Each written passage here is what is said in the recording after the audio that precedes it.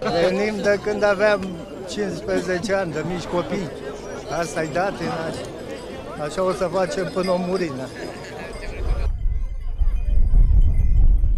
E o prietenă, face parte din familie, așa m-am pomenit între cai, așa am crescut cu ea. Și familia, o iubim, e ca copilul nostru, cum ar veni. Calul, calul uh, îl cheamă Blechi, în vârstă de 7 ani. Cursa a fost foarte grea din cauza, din cauza drumului. Este prima oară care am venit aici, am concurat și am câștigat de prima oară. Hop!